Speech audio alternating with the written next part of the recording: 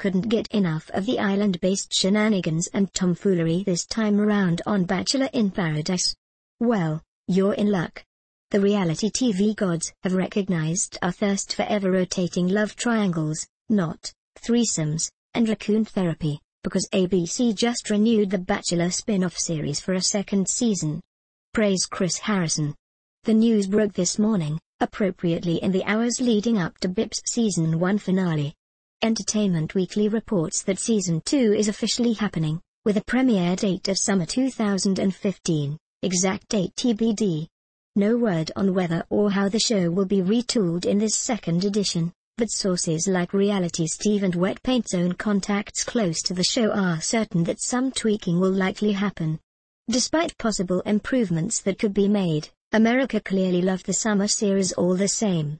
After premiering on August 4, Harrison, Ashley Frazier, Michelle Money, Marcus Grodd, and the gang quickly won over viewers, climbing their way to the number one ranked new summer series in the coveted 1849 demographic. Way to go, guys.